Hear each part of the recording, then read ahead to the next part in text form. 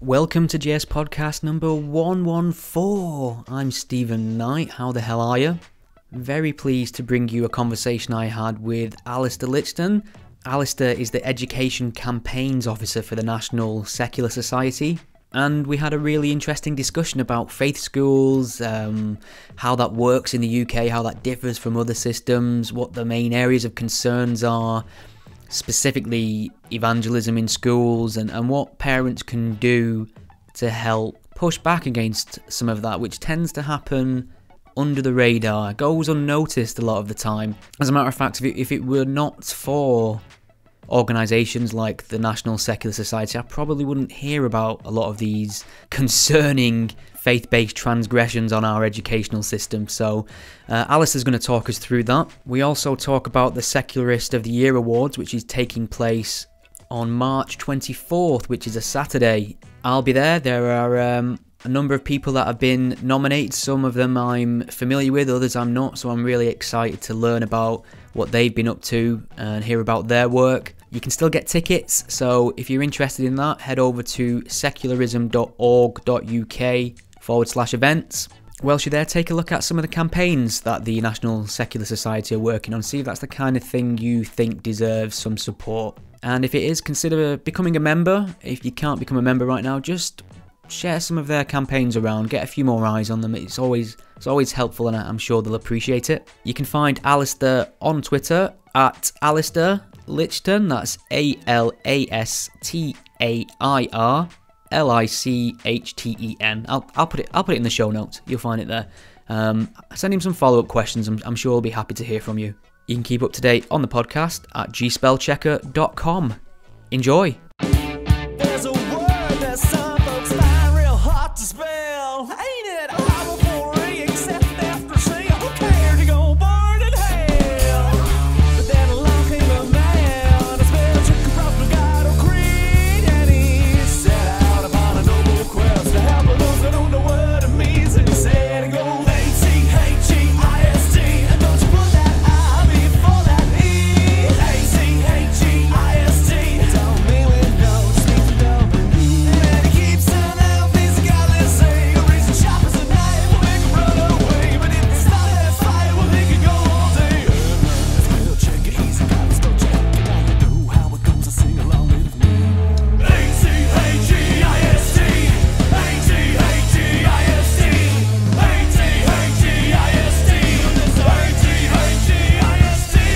Very pleased to welcome Alastair Lichten to the GS podcast. Alastair, how are you doing?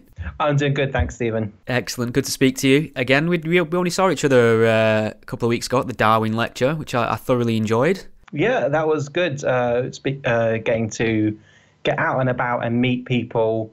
Uh, I, I really think in this age of online social media activism, which can be you know very loud and shouty, there is uh, just a huge value in just meeting people face to face. And you know, even when people very much very much disagree with you, I find eh, conversations which just make which just make us think and try and you know empathize with and understand each other better are always worth it. Yeah, it's, I I have a much more enjoyable experience when I go to events and, and speak to people face to face rather than uh, rather than the typical Twitter intera- interactions. But um, I, I thoroughly enjoyed. Um, there was some young schoolgirls there who, who had brought some um, artwork of Darwin's finches and they had a little stall set up and I went over to speak to them and it was just really nice to hear a bunch of young school children really passionate about evolution and actually knowing quite a lot about it which is surprised I think once you're at a, once you're at a certain age you kind of uh, sort of get a little bit more dismissive of school kids and their knowledge but these people were really well educated on it. So I mean, it kind of bodes well for the future, doesn't it? Yeah, I mean, I was at an event just a week before the Darwin Awards, which is called Politicon, and it's organised by these sixth form uh, political students, uh, politics A level students, uh, and I've been there a couple of years in a row, and I'm just incredibly impressed with you know the questioning. I had this long, good like you know really dis- really disagreeing uh, 10 15 minute debate with these couple of uh, 17 year olds who were you know completely in favor of faith schools uh, you know, I, I, tried to bring around. Was there anything we were going to agree agree on? That no, they're, they're fine with discrimination in teachers, uh, staff, fine with uh, you know RE being taught from a biased perspective, and you know that's you know a really a big disagreement, but just no animosity, no you know uh, no meanness in that, and actually what I got the sense more than necessarily being massively in favour of faith schools is that they just sort of saw it as a natural thing that they hadn't thought about. Yeah, it's it's interesting. Like if you if you go in there with the um, the intent to let people know something they might not know, rather than just wanting to win a battle, I think you can you can change minds that way. It's something I've um, tried to progress over the years. I don't always succeed, but uh, it's definitely more. Um, more worthwhile, I think. Uh, definitely more valuable to engage with people that way. But we've um, jumped ahead a little bit here. So, Alastair, maybe you can tell me a little bit about the National Secular Society. Then, what are some of the the general principles that you uh, stand for? Uh, so, the National Secular Society uh, founded in 1866, and our principles are about challenging religious privilege and promote in order to promote freedom and fairness.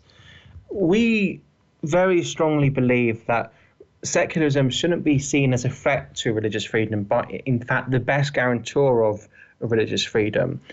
Um, secularism isn't challenging people's personal beliefs. It's about saying that those personal beliefs shouldn't lead to you being privileged or discriminated against, and it shouldn't they shouldn't be used by you to impose your will on others. Yeah, I think that's a that's a really good point to make because I think there is um, there's a lot of misunderstanding around the word secularism. Some of it, I think, possibly willful. People will try and represent it as some anti-religious force looking to wipe away anything slightly faith-based from the public sphere, which is just not true at all. And I've noticed in in recent years with the NSS, there's been a very specific focus on bringing religious people into the fold uh, and having a wider co- uh, conversation. And what you tend to find is that most religious people, moderate religious people, are fully in favor of secular principles anyway once you get talking about it. Yeah.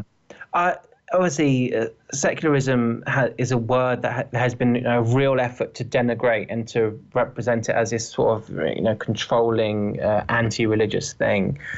Um, and it, and it, it's true if if your form of religion needs to be privileged and needs to force itself onto other people to survive, then yes, secularism is a threat to your religion.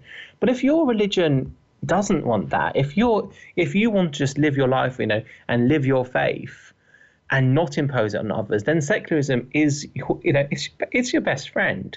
And we often do see that it is religious people. They may have more of an ex- more of an experience of religious authority being imposed on them, and therefore might be more likely to more likely to support secularism. What is your official title at the National Secular Society? What would you describe uh, the bulk of what takes up your time there? So I've recently been made the Education and Schools Officer. Uh, I've been at the National Secular Society four years now, and I've worked in a whole variety of campaigning roles. But I think uh, part of the reason of making me specifically education and schools is because that is the biggest area of our work. Uh, the education system is, you know, the area of public life where a lack of secularism and where religious privilege really most impacts most people. Uh, and it's an area that I've been developing incre- increasing expertise in. And uh, National Secular Society really wanted uh, to demonstrate how seriously we take this issue, this whole this whole area. So maybe I mean our schooling system's a little bit different uh, than the wider um, world. I suppose. I suppose Americans might not recognise some of the things we talk about, but maybe you could just let us know in what way. Um, our schooling system, specifically faith schools, transgresses on on the principles of secularism to the point where you have to uh, dedicate your time to campaigning against these things. Okay, so I'm going to use a term, uh, faith schools, uh, but I want to be clear first of all that that's uh, not a legal term. It is a descriptive term. Uh, there's no need for us to get into you know the minutiae, the differences between different types of faith schools. So, you know, we've got things called voluntary aided, voluntary controlled, faith ethos, faith designated academies, all those sorts of things. So what I'm just when I say things a faith school, I mean that it, uh, a religious organization has a formal role in the governance of the school. Uh, and uh, within that, it, I think it's probably important for uh, listeners to understand is there is a range.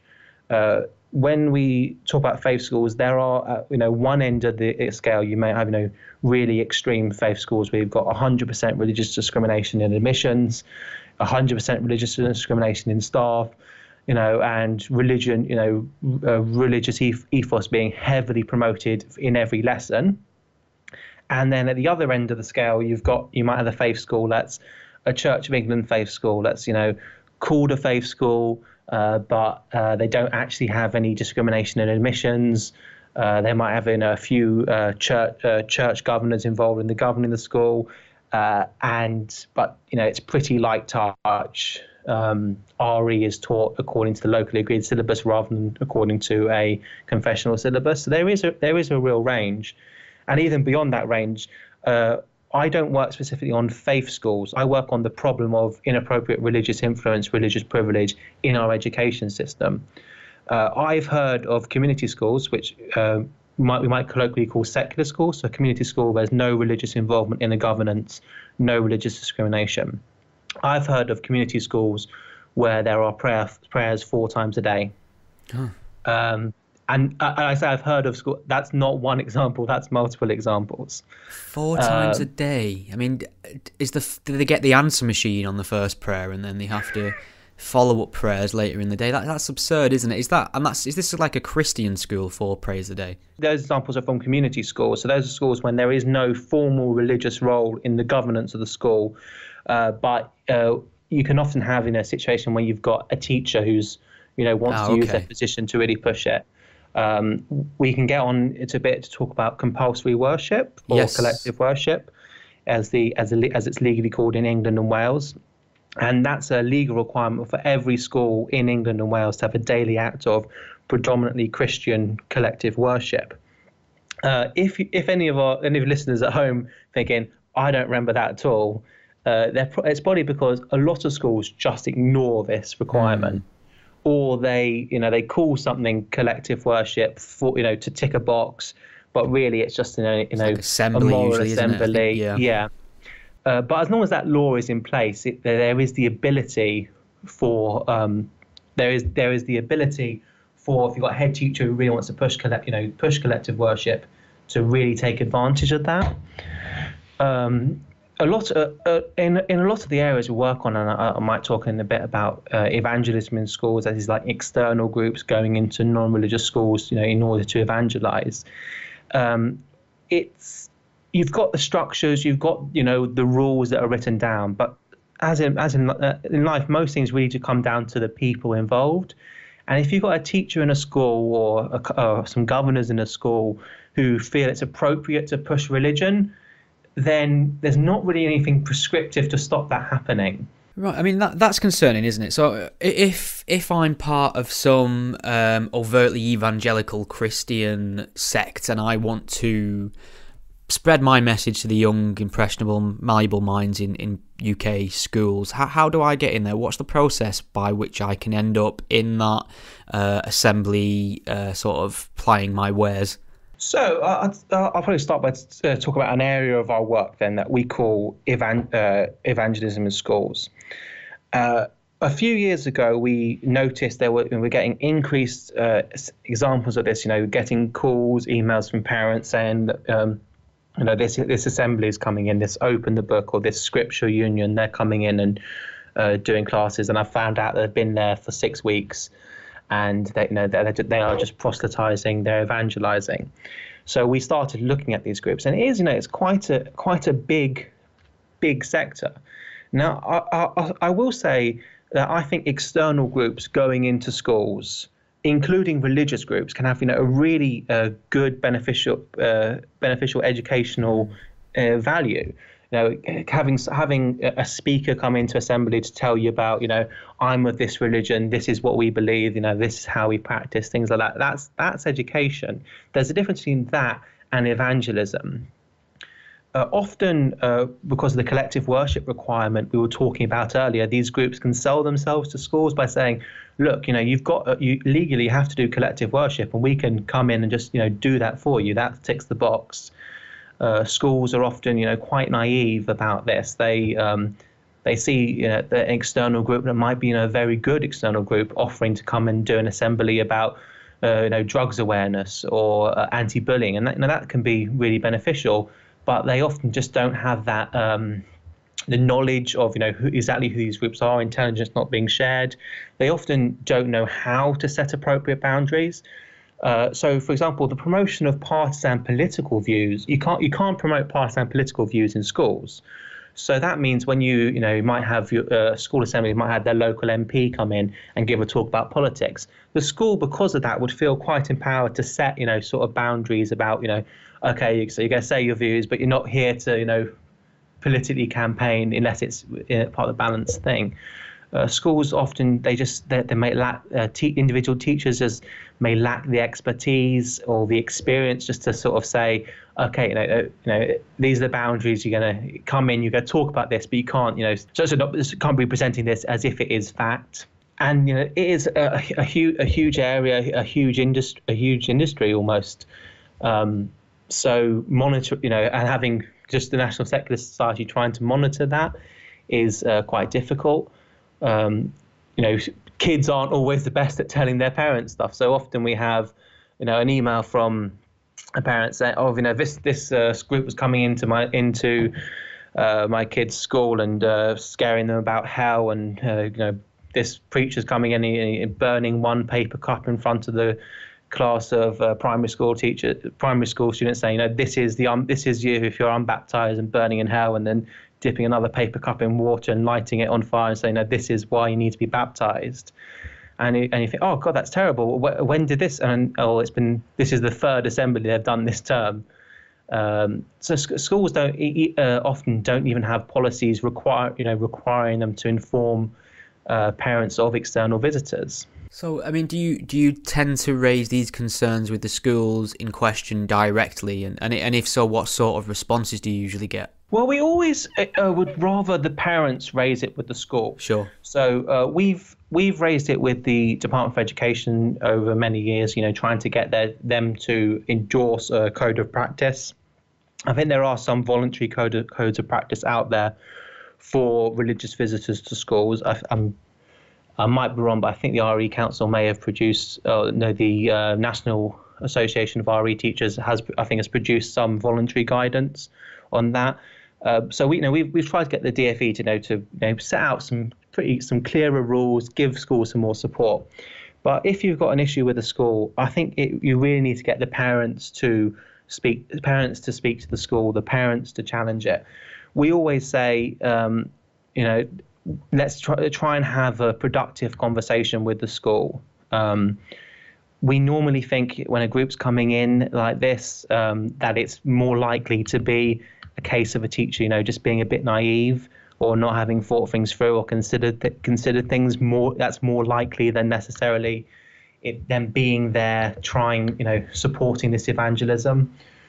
Um, schools often often you, may not be able to stop this it, this uh, visit happening, but you can say to the school, look, okay, this is going to happen. They're going to come in next week, but maybe maybe do a bit more research next time. Maybe not invite them back. Um, maybe ensure that there's always a teacher in the room and the teacher, you know, has is briefed on how to ensure that appropriate boundaries are maintained. Uh, just saying one uh, of the highest profile evangelism in schools schemes that we have been you know somewhat successful in challenging is Operation Christmas Child. I know you did a video on that uh, you a mean, few years ago. You mean my YouTube masterpiece? It'll be henceforth referred to, please, Alastair. Okay, so as you as you as you said in your YouTube masterpiece, did I get that right? Spot on. Thank you. Checks in the post. So, as a Samaritan's Purse operations Operation Christmas Child uh, shoe, shoebox scheme, that's an evangelism in schools in, schools um, scheme that is quite well known, and we've been successful in persuading schools not uh, not to take part in the scheme. I mean, most likely now. Uh, you, you, can see, uh, you can see why it seems like this appeal to to schools. You know, this sounds like a, just a nice thing, and you know, probably quite educational.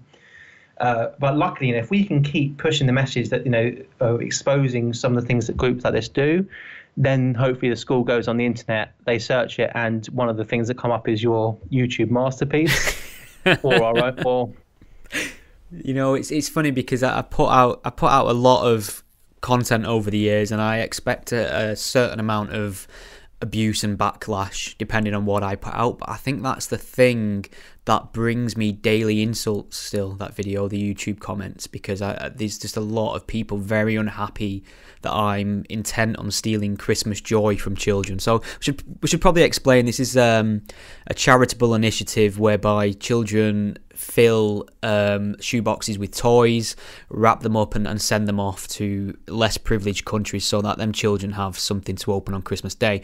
What many parents don't hear about is the fact that the the organization organization behind this, the Samaritan's Purse, often bundle it with uh, you know various religious propaganda booklets and things like that, and um, almost I think they, they invite the children to uh, to a sort of sermon before they're able to open the presents and things like that. It's quite it's quite sinister when you uh, consider. I think it's um, is it not Billy Graham? Is it Billy Graham that's behind it?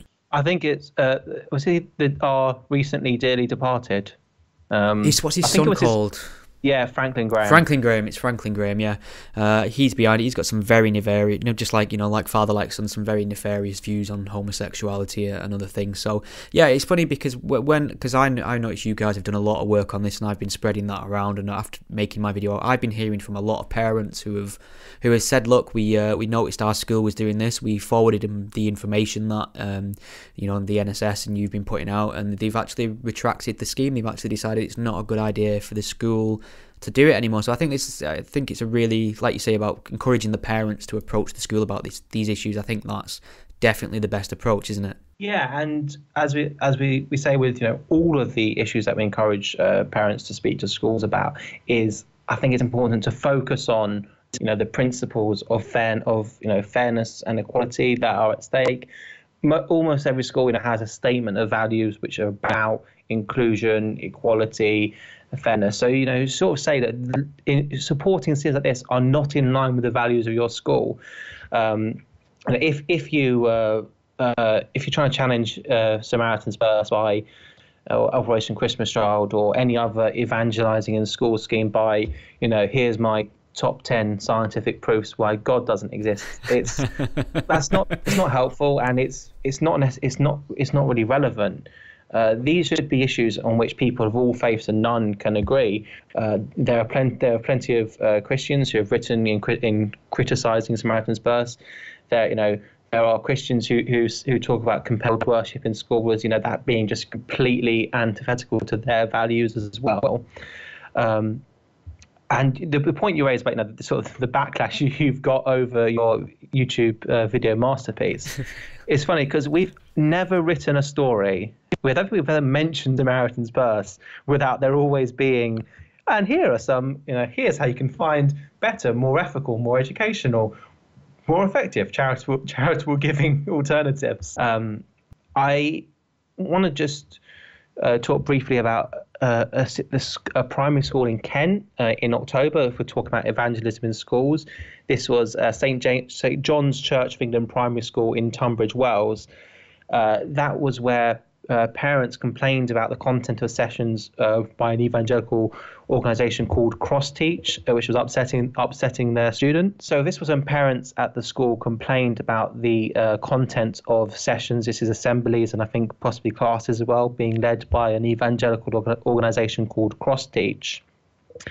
And uh, you know, parents and this was just leaving um, their, their children really traumatized. You know, often, particularly in Church of England schools, people, children go to these schools because uh, you know often they're the nearest school. It's it, it, it, these aren't religious communities. These schools. Um, so, so one parent one, uh, one parent said children were told that they did not believe in God, they go, they would not go to a good place when they died. Uh, and parents started, you know, uh, speaking to each other and saying, yeah, yeah, we're hearing this from our children as well. And they started withdrawing their children from assemblies, and then the number of people, of parents withdrawing them from assemblies, made made these things just completely um, unsustainable. And this was an, this uh, organization becoming in delivering assemblies and lessons at school for 16 years and that and, and sort of the school were very you know you know very angry annoyed and accused these these uh, parents of extremism for trying to you know had their kids go to school without being just proselytized to. So another another and I think an important thing in that is is is to speak to other speak to other parents and to not just you know not be fobbed off with you know oh why are you complaining? They've been coming you know coming here telling telling children that they're going to go to hell for 16 years in assemblies you know who are you to complain? Well, um, there's there's a, tr- a, a tricky thing around this now that I'm seeing it gain more momentum, and I'm I'm hearing it more places, and it, it often comes from sort of atheists who profess secularism, but the more on the the conservative end of the spectrum, and they will say that this erosion of, of Christianity from our national fabric, I suppose, is, is a bad idea in the face of Islam. I mean, I, I agree that um, removing religion and, and combating faith schools, uh, uh, certainly religious indoctrination, should I say, is a, a, positive and a good thing to be doing. But there's this this secondary question of now now about well, what fills that void? And uh, a lot of people who are not Christian but still have some, you know uh, some sort of residual love for it. I'll, I'll, often champion Christianity and say I'm not Christian myself, I'm an atheist, but it's still the best foundation for our children in terms of uh, this. I suppose they, they see it as some sort of opposition to the increase in Islam. Yeah, I, I just uh, me. They've got one particular follower on Twitter, and every time we do a news story about education, and uh, being that Christian schools outnumber any other religious school, uh, uh, category of religious school in the country, they are a large number of the news stories we do. And so we do a news story about uh, compulsory worship. And, and they will get the tweet, well, at least it's not compulsory Islamic worship. what about the madrasas? Yeah, and and we'll do a story about you know parents left with no choice but to send their kids to a faith school. Well, at least it's not a uh, Muslim faith school. Yeah. Um, this idea that privileging Christianity will protect us from other religions being privileged. I, I think it, it fails in just both practical and moral terms. Yeah. Uh, we we see. Uh, I'm reading a book at the moment called "Competing Fundamentalisms," and we see around the world that when one religion is privileged and it is given special special treatment, that doesn't discourage others from wanting to be treated specially. Uh, when you have blasphemy laws in Europe designed to protect Christianity from criticism, that does that does that then leads to Islamic groups saying, well, we want the same laws to protect us. Yeah, it's often it often comes in you know quite a self-serving way. I remember when a lot of the issues were coming out around um, the Trojan horse uh, incident in in uh, Birmingham schools, and the Archbishop of Canterbury is like, well, this just shows we need more church schools. um, so yeah, more more uh, petrol for the fire. Yeah, the, the idea if, if we all embraced, you know, everyone in Britain embraced a Christian identity, and we all treated Christianity especially that that would uh, defend against Islam. It just, uh, to me, it doesn't seem at all practical because you can't get people to embrace Christianity. Uh, you, uh, how how how large you, you, you, however hard it seems you try, you can't get it. We're now a majority non-religious country, uh, and it's it's not moral. It's I just find it um, very very problematic. And then when you you ask people about you know oh what Christian values is it you want and they they, are, they tend to give you sort of statements of things which are quote unquote Christian values, which are not in any way uniquely Christian. Yeah. Uh, so uh, having a national framework of values which we which we can support, I think that's a good idea. That and we have that. We have through equality law and human rights, you know, broad principles that people from all different backgrounds can support.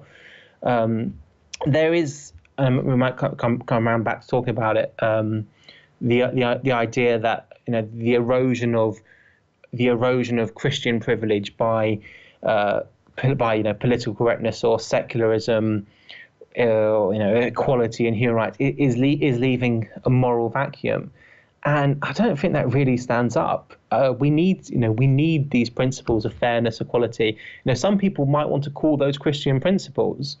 Um, as you know, some people might be motivated by what they call Christian principles to be deeply opposed to faith schools, to be deeply opposed to religious discrimination. So, uh, education is the largest area of our work, and although it's a little bit more complicated than uh, faith schools versus non-faith schools, it is one of the biggest area that draws people to National Secular Society. People who are in favour of faith schools, they often want to portray this as being about religious versus non-religious. But if you start looking at the issues around faith schools, you can see there is a potential for uh, for very broad agreement across people uh, across people of all faiths and none. Uh, if you look at, um, I know there's some some polling was done last year by the uh, uh, by the Accord Coalition. This was around government plans to increase religious discrimination in faith schools, and you know there was just big, big majorities in every religion and belief group against faith-based discrimination in school admissions. Uh, there will be differences of opinion. You know, some people say.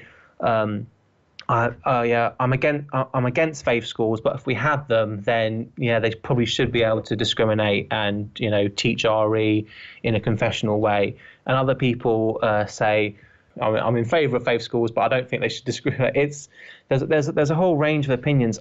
Let's just look at the sort of education system we want. And I think most people want an inclusive education system. They want a, education system that is free from discrimination. They want schools where uh, young people learn about different worldviews.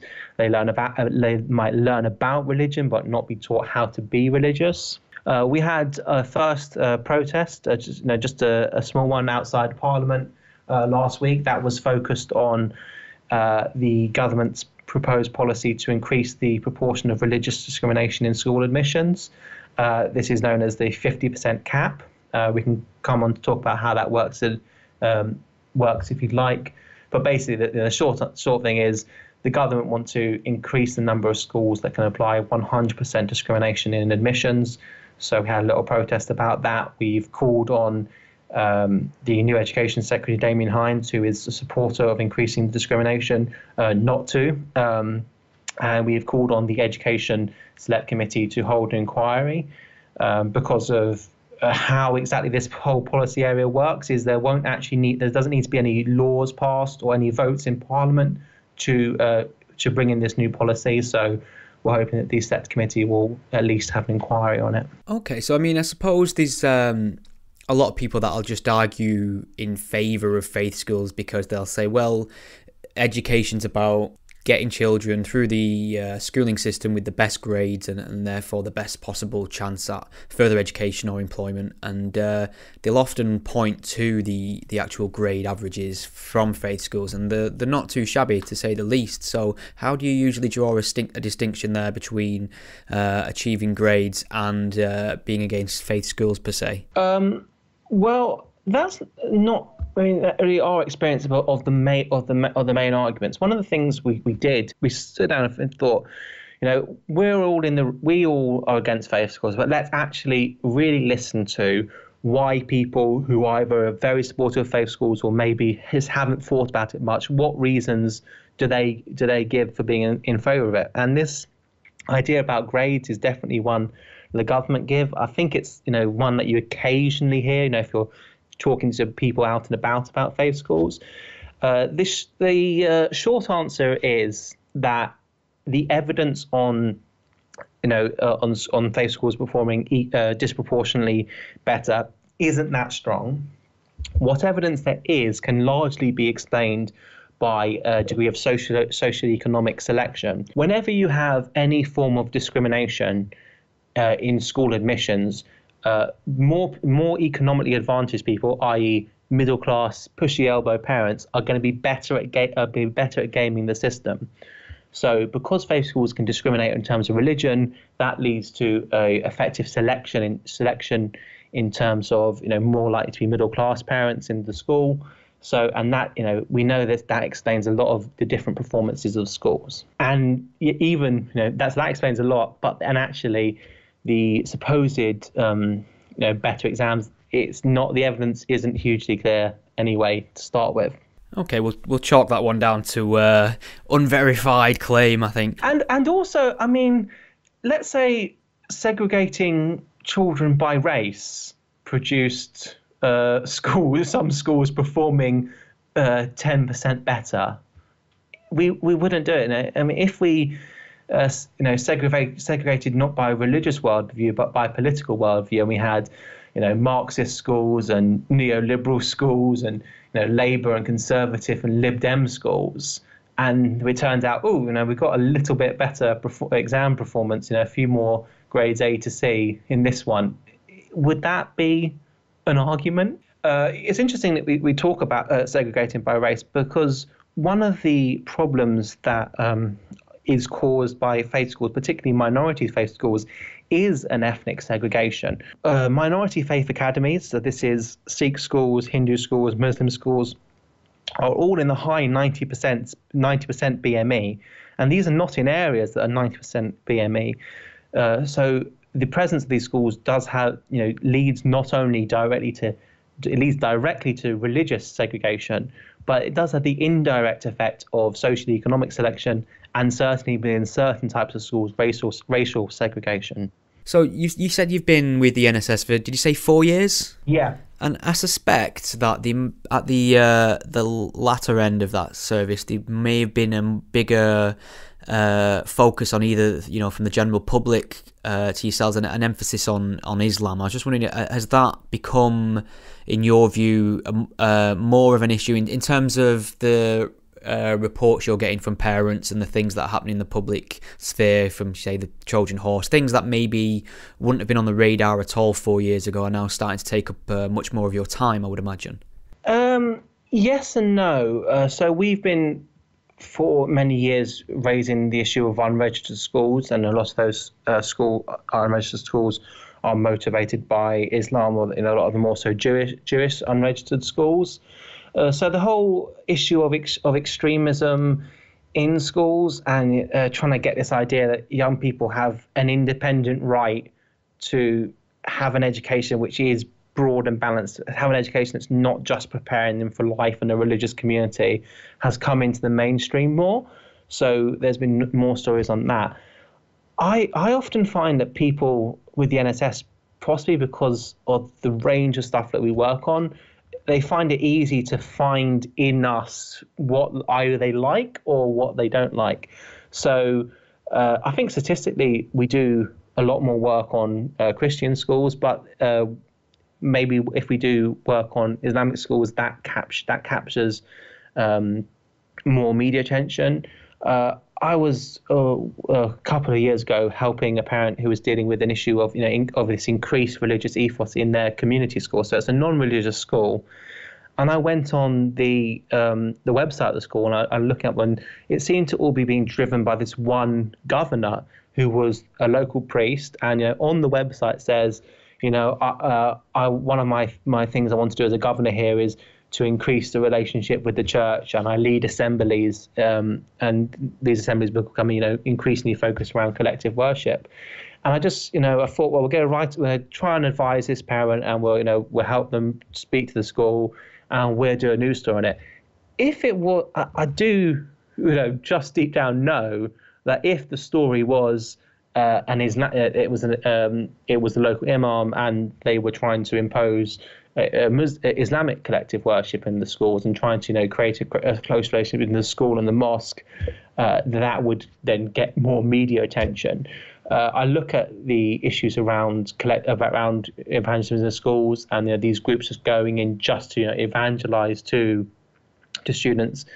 Um, religious privilege is different uh, for di- for different groups. We tend to uh, it, we tend to be much more skeptical of Islam having involvement in the state than mm. we hmm. are of Christianity. But then uh, we are much more, you know, there's there's much bigger taboo against criticizing Islam than there is uh, criticizing uh, Christianity. So